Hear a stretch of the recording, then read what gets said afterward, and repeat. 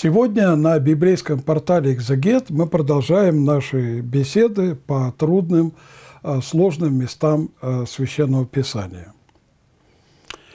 И э, отталкиваясь от двух текстов из книги «Левит», 3 глава, 2 стих, и книга Второзакония, 12 глава, 27 стих, мы зададимся вопросом. Как поступали а, с кровью жертв выливали на жертвенник, под жертвенник или окропляли его с разных сторон. А в чем заключается э, проблема? Э, в книге Левит э, 3.2 было заповедано э, священникам покропить э, кровью на жертвенник со всех сторон. Но в книге Второзаконие 12.27 сказано, что кровь должна быть проливаема у жертвенника. Для нас эти законы, для нас христиан имеют огромное, э, огромное значение, потому что они связаны с жертвой Христа. Они указывают преобразовательно на то, что совершал Христос, войдя э, в небесное святая Э, святых. Поэтому для нас эти образы, э, прообразы, они имеют э, большую неприходящую ценность. Тем более, что в Писании сказано, что все Писание и Ветхий Новый Завет имеется в виду полезно для научения, для наставления вере. Поэтому любой вопрос, который возникает при чтении Писания, когда мы пытаемся согласовать тексты друг э, с другом и видим как бы внешние противоречия, эти вопросы нуждаются в разрешении. А с древних времен э, в самом э, еврейском народе было такое представление, есть такая книга, точнее это не книга, это собрание книг, это целая библиотека – она называется Мишне Тара, то есть повторение закона. И э, составил эту такую библиотеку э, средневековый э, еврейский катафикатор закона, всего закона Маймонит. И вот он, как бы сопоставляя разные тексты, говорит, что преобладало именно окропление –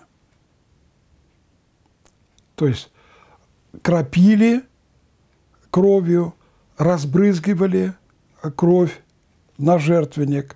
А вот то, что оставалось, вот и сопом нельзя было это как бы вот подхватить и э, разбрызгать, выливали э, под жертвенник. Таким образом, э, никакого противоречия здесь нет. Но какое-то значение имеет для нас – христиан. Кровь Иисуса Христа очищает нас от, вся, от всякого греха. То, что краплением крови очищался даже жертвенник, а мы знаем с вами еще из Ветхого Завета, что каждый верующий, он должен быть как одухотворенный жертвенник, который возносит Богу жертвы хвалу своих уст. И если сам такой воспевающий Бога очищен кровью Иисуса Христа, это очень важно. Но кровь также возливалась в основании э, жертвенника. Там э, основание было из камней или из э, земли, чтобы само основание нашего служения перед Богом носило евхаристический характер.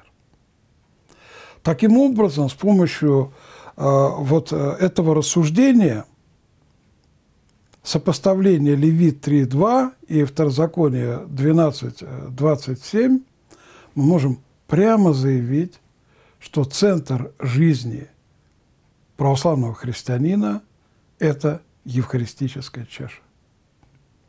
И любая православная община это прежде всего должна быть евхаристическая община. И э, в центре нашего служения это кровь Иисуса Христа, пролитая за наши грехи и за наши прегрешения, падения. И то, что она не просто окропляет нас, но и сливается в основание, то это и есть тот надежный фундамент, на котором созидается церковное прославление и благословение Бога из уст каждого верующего православного христианина. Таким образом, текст, который э, внешне, казалось бы, при сопоставлении с другим текстом, не несет никакого назидания для христиан, он становится вполне назидательным. В этом заключается суть экзегезы, библейской экзегезы, э, сделать все Писание полезным для научения, для наставления в вере и для обличения. В противном случае библейские тексты, не исследованные нами, будут оставаться как невыученные уроки.